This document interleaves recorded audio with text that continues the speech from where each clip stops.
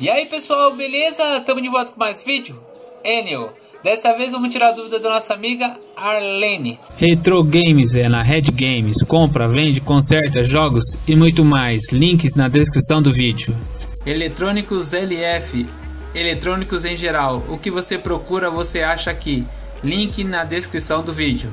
Oi, você sabe como fazer a troca da instalação no app com esse novo procedimento da Enel de entrar com e-mail e senha? Vamos mostrar para Arlene, vamos lá? Então Arlene, eu já estou aqui no aplicativo, já acessei a conta da minha mãe, ok?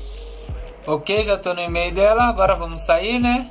Clique aqui nos três risquinhos, troca de instalação, na barra superior do lado direito, clica nessa desenho de uma porta com a seta, né? Ok, você já saiu, sobe a tela, exclui.